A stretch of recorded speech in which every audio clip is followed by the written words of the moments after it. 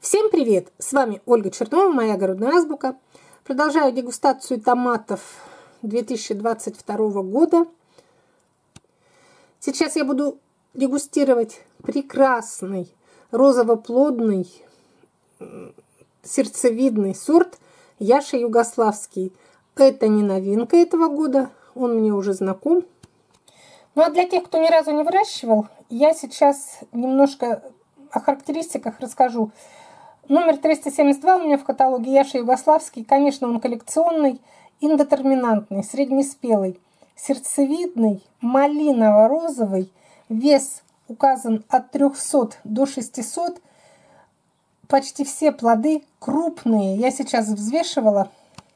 Сейчас взвесим еще один. Вот этот вот. Ай. 411 граммов. Как и все сердцевидные томаты, форма сердца может быть разная, или вот с такими широким основанием, или вот такой более изысканный. Это вот с одного куста, это все Яша Югославский. Конечно, очень красивый, конечно, урожайный, безотказный и на улице, и в теплице. Но самое главное, это его потрясающий вкус. Сейчас я его нарежу, покажу вам разрезы. От одного только от одной демонстрации разреза, вот на разрезе томата хочется его попробовать. На разрезе видно, что томат весь полностью набит вот этим томатным мясом. Нет ни пустот, нет никаких-то включений, вот каких-то белых стерженьков. Смотрите, как плотно и семенные камеры, вот они по краям, не очень заметны. Так что этот томат, где больше мяса, а меньше семян. И сейчас вот еще покажу. Мякоть плотная, сочная, очень вкусная, гармоничная такая.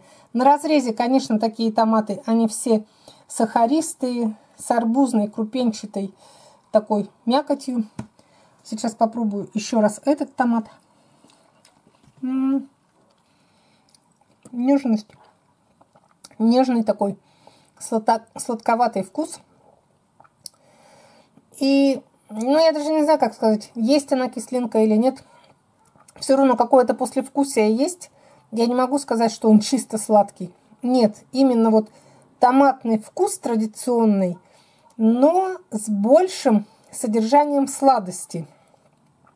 Кислинка такая очень приятная, и она гармонично дополняет. Идеальный сорт. Конечно, все его знают. Это классика томатного мира, Яша Югославский. Многие его любят, полюбила и я.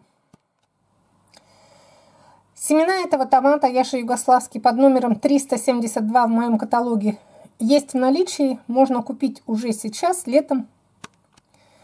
Теперь говорю эту информацию в каждом видеоролике для того, чтобы потом не отвечать на вопросы. Потому что какой видеоролик не выпустишь, сразу начинается на почту письма. А когда можно купить семена, есть ли в наличии? Вот я сейчас сразу говорю, какие семена есть в наличии, а какие нет. Нужно ждать до осени.